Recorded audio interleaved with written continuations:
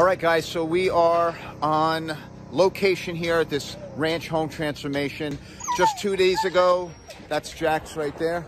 Just two days ago, we had started the demolition on the inside. Yesterday, excavating crew showed up and dug out the rear foundation.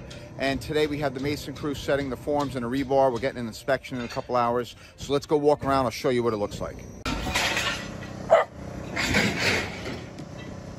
Front here, we have the front steps getting expanded. So we put our footings in.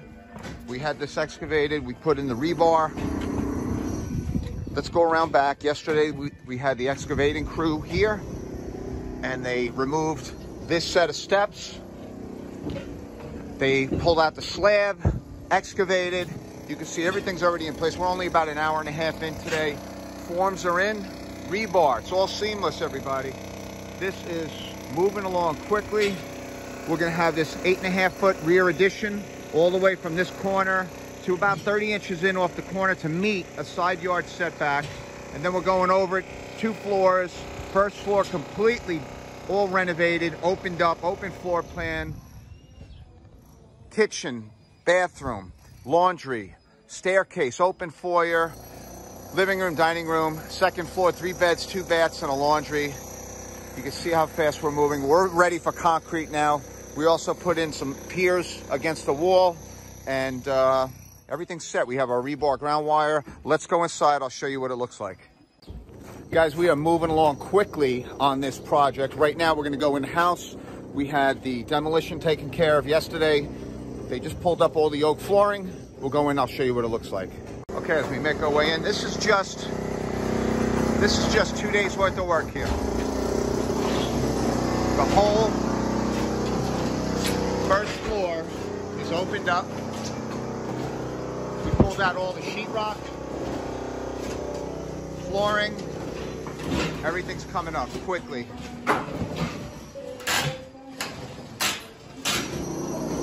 This was the master bedroom. There was another bedroom over there. Everything is cleaned up. Nice and neat. Everything's in a container. And we'll go down to basement. We're putting in two supporting piers. I'll show you what that looks like. All this is getting opened up.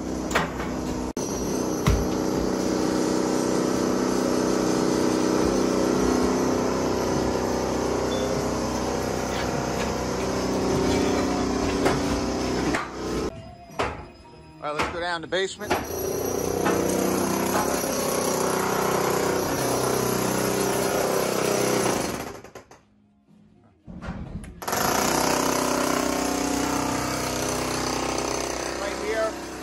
Footing.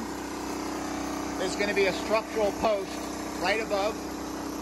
And if you notice, straight across, we have another one. So we're going to be creating some structural beams over here.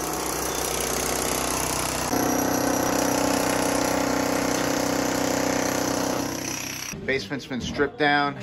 We took all the ceiling tiles down. And over here you can see now the footing that we dug out. We just had it inspected, everything passed. We have our rebar in there. There's two footings. There's gonna be two piers here. And they're gonna be load bearing, picking up the weight of the structure for the second floor. And this allows us to have an open floor plan. And here's one over here. We'll cross over into the utility room. This is the existing utility room. Here's the second pier. You can see they, they almost line up right over here. So there'll be a column straight down to the footing, another one straight up, and those will be catching up the point loads of the second floor. And here we'll just turn around quickly and we just cut open an access into the crawl space for right here.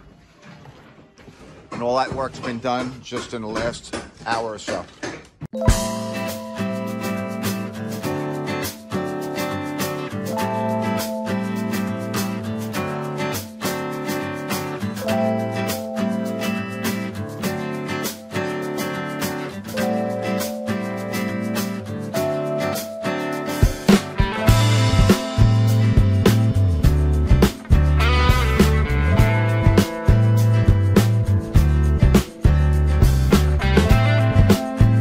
Hey guys, if you're interested in information on how to hire a contractor, I put together a list. Click on the link down below. You'll get that information for free. Again, click on the link down below and you'll get that information on how to hire a contractor. You'll get it for free. Thanks.